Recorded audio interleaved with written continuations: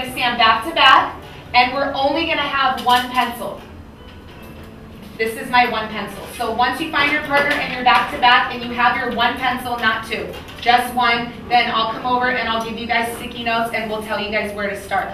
With the QR code, there's an iPad there. All you guys have to do is open it up and find the um, QR code scanner which is the i-nigma app, and we're gonna talk together to see if we can figure out, are we ready for a prediction? Do we need to make an observation, or do we need to ask a question? So we're gonna sort of think about what we were observing as we were walking around the classroom.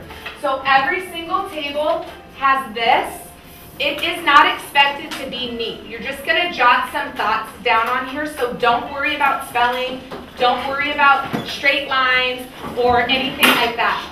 First thing you're gonna do is you're gonna talk as a team, keeping in mind the visual cues that we should be observing and the auditory cues that we should be hearing while you're doing your team talk. But as a group, I want you guys to list three.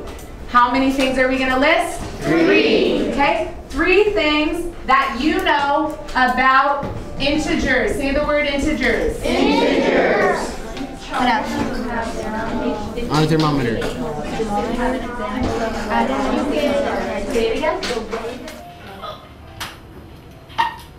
Okay, awesome.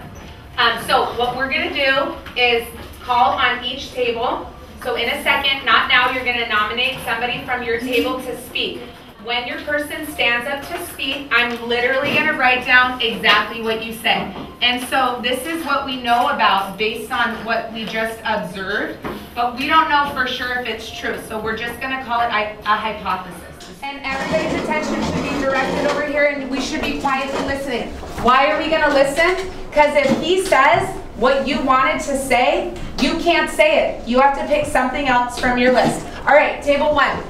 What I know about integers. They can, they can measure distance. They can measure distance. Measure distance. Did your table have a mathematical discussion to come up with that? Yeah. So you can go ahead and add two points to your team task. All over there. Awesome job. We're going to switch over to the other side. This time I only want two things that you want to know about integers. So it would sound something like, what I want to know about integers, and then you would finish that sentence. How far can a negative number How far does there's a number line go? So what I want to know about integers. Um, how do you use integers in the number line? Say it again. How to use integers in the number line?